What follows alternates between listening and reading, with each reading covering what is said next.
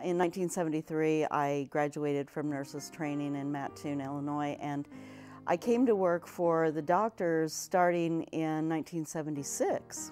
So I got to learn a lot about the doctors that live in Shelbyville and have worked around here for a long time. I worked for Dr. Soroy, who was here, and I worked for him for 22 years. He was originally from the Philippines. Really, medicine was his life. He did like to do dancing. He was very good at dancing, and he was very active in the Filipino American Association. The Dowses, Dr. Urbano, and he's uh, familiarly named uh, Dr. Ban. Um, he was a surgeon and a general practitioner. He worked here since the uh, around 77 or maybe 78. He still works here. I remember one time where he uh, was working upstairs and he and Dr. Soroy were very good friends because they were both from the Philippines. And they walked around a corner and they collided.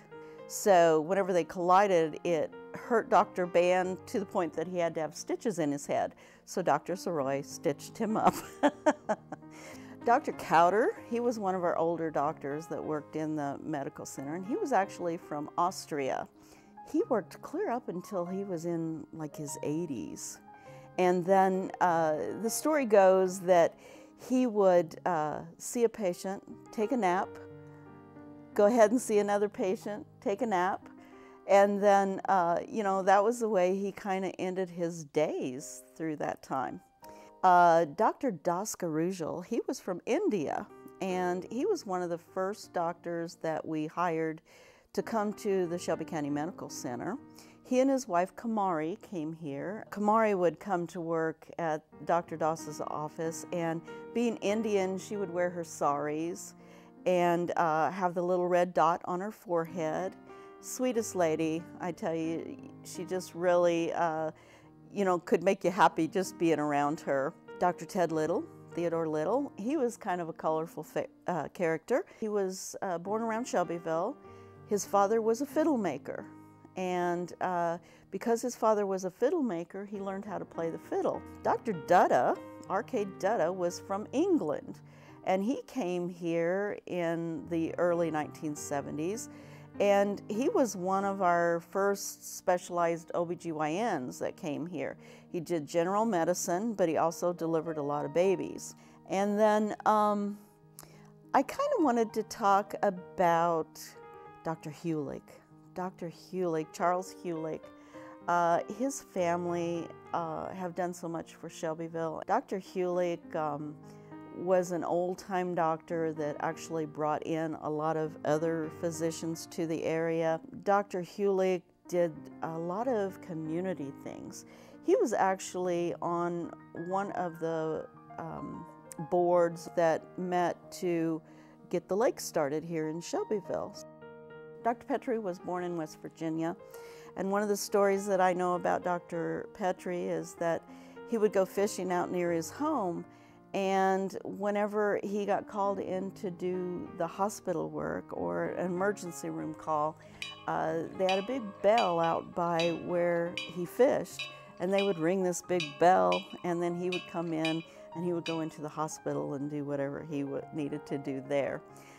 And another thing with all of the doctors like uh, Biddlecombe and Petrie and uh, Dr. Larson, um, they went on a lot of office calls in the patient's homes. They would do house calls.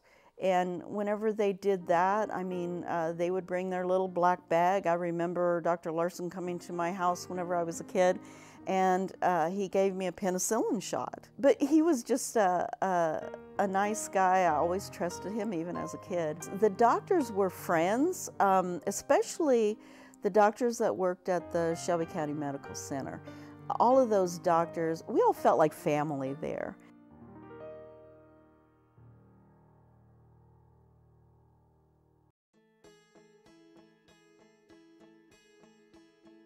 Jack was born in 1922 and died in 2006, and he had 10 siblings.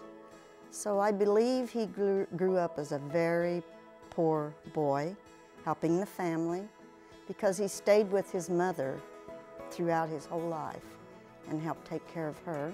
He used to sketch in class at school, and some of the teachers would get upset with him, but then others would say, Go ahead and do your sketching and drawing because they knew there was a talent there. He uh, used to do lettering on trucks when that was, I think, a law, and they had to put the weight limit of the truck on there. And he also did a lot of uh, painting on stores, windows, and when the um, truck lettering didn't need to be done, he lost a lot of work and so he kind of reverted to doing a lot of portraits and landscaping. So he would drive out in the country and take a picture of a barn and then he would go home and draw it. People would contact him and hire him to do portraits. And he did quite a bit of that and um, he was very good at it. When he needed money, he would uh, paint a picture of a barn or a landscape or whatever, and then he would take it to the people that he knew that would pay him, and that's how he was making his living there at the last. And he'd always go to friends that he knew that would pay him. He did oil paintings and pastels. If you had a portrait that you wanted a picture that you wanted him to paint, he would take that picture and then put it into a painting for you. He did a painting for me of the old dugout school that I had a picture of and it turned out really good. He came, brought me a picture that he had done and he failed to sign his name. And I said, Jack, you have to put your name on these portraits. And he didn't think that he needed to, that maybe they weren't that good. And so then each one that he brought to me after that, he had his name signed on them. He was visiting in my home um, one time and uh, he kept looking at this big picture of an Indian on the wall that he had painted years ago. And he just kept looking at it and looking at it and finally just out of the blue he says, that face looks like my mother. So I'm thinking he put his mother's face in this picture and then made it into an Indian chief. He also told me that being a good artist was not something you were taught, it was just in you.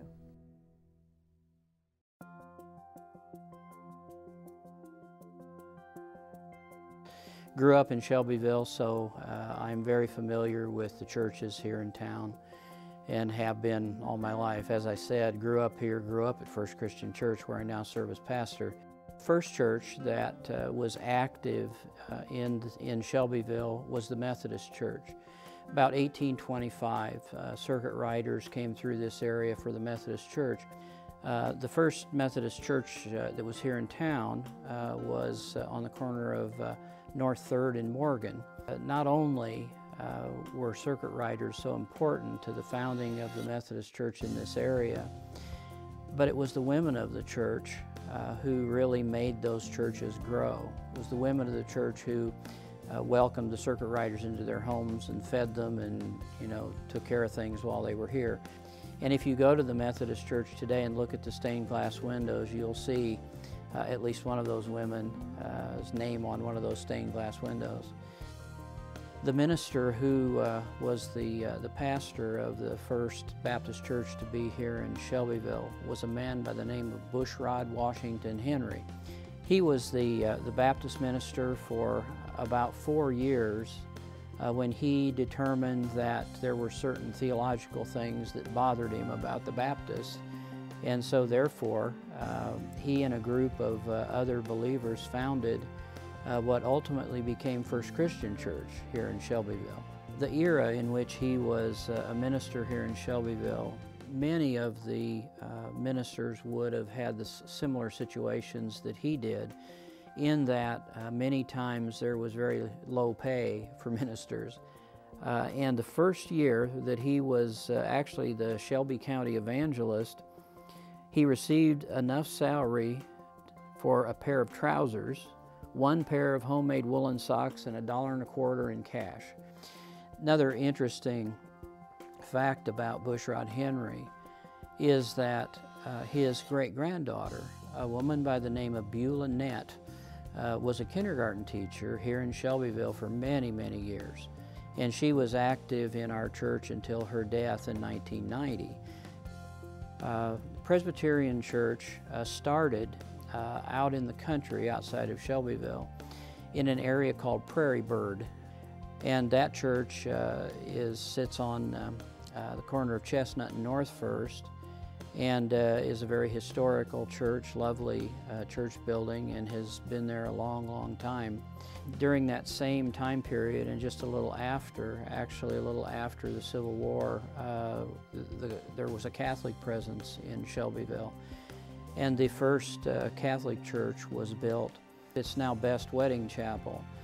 But that was the Catholic Church for many years, and uh, there was a a school there, a parochial school as well. The first Lutheran church in Shelbyville was St. Paul's Lutheran Church, uh, and uh, it is on um, South Pine and, and South 3rd Street on the corner. Uh, again, that was the first of the Lutheran churches in the community, much later than uh, Holy Cross Lutheran Church became part of the Shelbyville community. One of the great things about churches in Shelbyville, uh, we have a very cohesive group of churches that works together very well.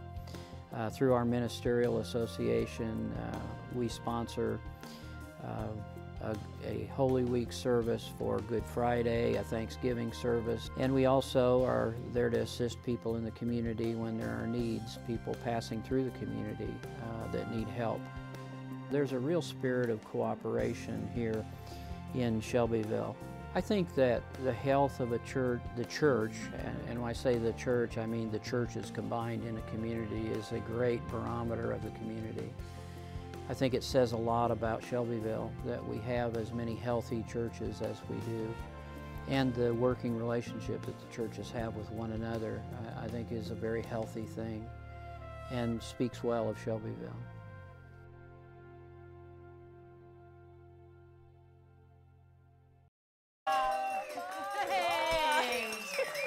We have the best people in the studio tonight. Thank you, all of you, for coming yeah. out tonight. We knew that you'd have fun if you just listened to what we had to tell. You'd come and have a good time. Between the pizza and the snacks and the company that mm -hmm. we've had tonight, it's Great been a blast. time. We hope you have enjoyed Shelbyville. This is our story as much as we have. We know some people have because we got some shout outs yes, to give. We got some shout outs. You want to go first? So I'm going to give a shout out to Lila and Robert Bollinger. They're calling from Florida tonight, and they want to say hi to everyone in the studio. I think they are relatives of Noel, who told the Stay Right story. That is his parents? Is that right? They're yeah, his parents. his parents. So, so thank you for watching. That's awesome. That's why we stream. Yeah, that's why we stream. So right now, we first of all call. If you have been watching all evening and you have not phoned, now is the time. Yep, okay, now's the time. We want you to call. We want to. We'd like to get up to 50 callers, and we're up to 30 five, so we're 15 yeah. away. We can Wouldn't do it. We can still do it. Yeah, okay. do okay. it. An elder Yaki called.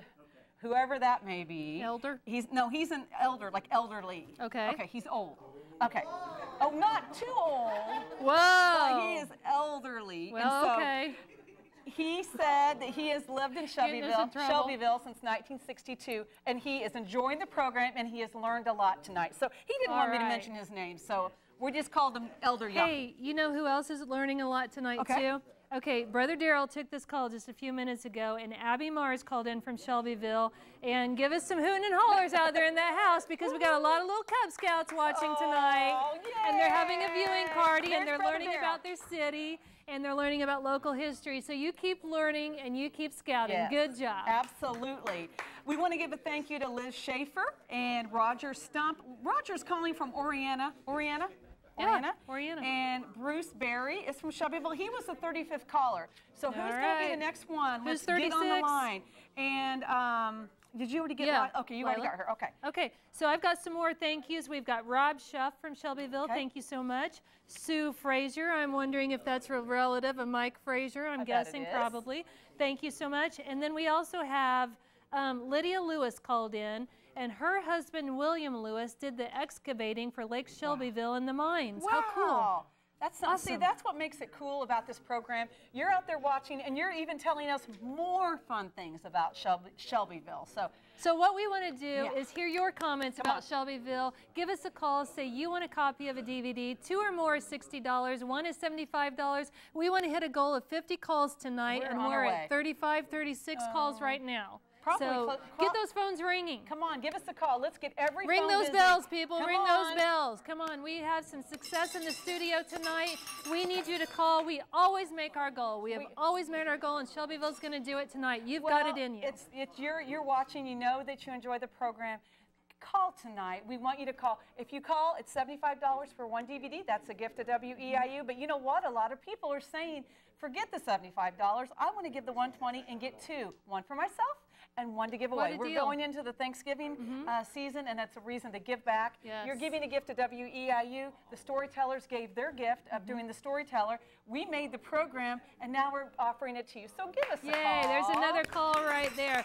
We've got people in the studio with us. We have them over there on the other side of the mm -hmm. set. They're in a living room. We've got people behind the scenes in production control room. Hi, John. People are laughing. And we've got people just smiling uh -huh. and uh-huh. excited, and they just can't believe the energy in the house no, tonight right. There they are right there. Hi, Bob. Hi, Lisa. Hey. Hi, Bob's wife. Now, uh, Mary Catherine, I know her as Kat, but a lot of she's here tonight. She's on she's on the phone right now. She is our student worker here mm -hmm. at mm-hmm. WEIU, and she came in as a student worker. And I'm going to tell you what, I bet you the people in Shelbyville, you've got a great young woman there, and she's got Yay, two sisters. Kat. She yes. is a triplet, and I know most of the people in Shelbyville will know Mary Catherine, mm -hmm. but we call her Kat. Yep. Her sister is here tonight, Liz, and we want to thank her for being mm -hmm. here, mm-hmm. and she brought a yep, friend with her she brought too. A friend. They've been so a big help tonight. We it was Claire, and Claire has even helped out. What how wonderful it is from Shelbyville teenagers to come mm -hmm. and say, I want to volunteer my time. That says a lot about the people in Shelbyville. Yeah, how important this is to them and sharing their community with the world tonight. All over the world, people have been calling call. in. Kevin, Kevin's a little, uh, yeah. you, need a, you need a phone call right now. All right. Yeah, we need a phone call. Anyone know Kevin? Anyone enjoy the Balloon Fest? Give Kevin a call and tell him thank you for sharing yes. that story. You know what? I do have to give uh, Kevin a kudos because I was able to go behind the scenes uh, and go to the Balloon Fest this year. And it is amazing how much work goes on behind yeah. the scenes. And so many people said, it's all Kevin he was running around like a chicken with his head cut off. and you know what? It was wonderful. So it was great to be a part yeah, of that. But he you know what? You know what he would say? What? It's all about the volunteers. Oh, yeah, he would. Oh, yeah, absolutely. that's what he would say because he wanted to make yes. sure when he told that story to thank all of the yes. volunteers. Well, it takes a lot of volunteers, but it takes somebody to come up with yeah. the idea too. So thank you. Yeah. What a, a, a great event for um, Shelbyville to have every year. Yeah, so absolutely. Well, you know what? We've got some more storytellers up here mm -hmm. on on stage with mm -hmm. us. We've got Monica over here. If you've ever been to the library, call, call Monica and say thank Aww. you so much. There's lots of good things going on at the library. I want a copy Freddie. of that DVD. We've got Freddie Fry mm -hmm. here, who is involved with tourism, the visitors, all the different things going on in Shelbyville. The Balloon Fest. Tell mm-hmm. Kevin thank you. If you are faith-based, we've got Mark back here. John is all about local history. If you're looking to get married or you're just in love tonight, you give Brother Daryl a call right now. Oh my gosh. And um, what else was I going to say? You threw me off. threw uh, you off. Oh, we got I lots give of Freddie love. Fry a little bit of a head because she has done a lot for us. She yeah, brought props good job. tonight for our studio. Anything Yes, thank you for your help. Freddie stepped up, so we yeah. really want to give her a gigantic. There are so many people that have supported this program, mm -hmm. so mm-hmm. many underwriters. The phones are quiet right now. Yep. Is there I'm not anyone? sure what number we're at. Amy, what number are we at over there? She, 38. 38. Could we okay, come on, let's do 40. Two more calls. Two more calls. Two more calls. Two more calls. Yeah. Got, there we go. Two, or where are you at? Two. Well, we made 40. We made 40. Yeah, oh, good job. Yeah. Woo! Way to go. So if you're out okay. there right now and you say, you know what, I want them to get the 50, give us a call. Yeah, give us right a now. Let's just see if someone will call, just for the heck of it. All right, and Come while on, we're call. waiting on people to call, we're going to get all yeah, of our Errol, storytellers, all of our friends, all of our family from yes. Shelbyville up here with here. us. I'm going to get my papers out of the way so I don't trip anybody. Everybody trip anybody. because this is the time of night where we thank all of our new friends, yes. all of our family members from Shelbyville, and we want everybody to be seen because these are the folks yes. who represented your town yes. right here, right on, now. Norma. Show the love, Brother Daryl. Show the love. Everybody come on in. Everybody in. come on, Norma. Yeah. We've got some people coming in from the other side of the stage over here. People behind the scenes, you come, Come on, on in in, and join us too. Everybody, Shelbyville, let's on in. let's get in together. come on up Oh, here, we got Norma's husband. He's coming on Come over. on up. Got some purple on too. Sharing the love in the studio right here. Now Come on we up. we could not have done this program Let's without everybody on. in this picture to that right now. These are Get a good shot, Ramin. They're this friends. is all of our new friends and friends, family and from these Shelbyville. will be friends for ours Yep. forever. Forever. And we want to thank you for supporting all of our new friends and family tonight for Shelbyville. This is our story. Everybody, wave. Thank you so Thank much. You. Thank you for your support. It's been a great night. Shelbyville, This Is Our Story is underwritten in part by SSI is proud to bring you Shelbyville. This is our story on WEIU. SSI is a developer of agribusiness software located in Shelbyville and supports the storytellers and everyone involved in the show. More information regarding software solutions integrated is available at agvance.net. Sarah Bush Lincoln Shelbyville Clinic provides family practice, laboratory, and diagnostic imaging services in Shelbyville. Sarah Bush Lincoln Shelbyville, trusted, compassionate care, and proud to be a partner of Shelbyville. This is our story.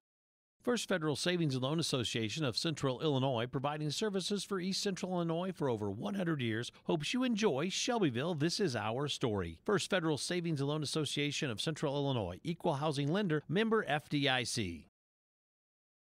Shelby Electric Cooperative is a member owned electric distribution cooperative serving all or parts of nine counties and an honored partner of Shelbyville. This is our story on WEIU. Shelby Electric Cooperative coordinates with community and civic groups in fostering programs that contribute to Shelbyville's development.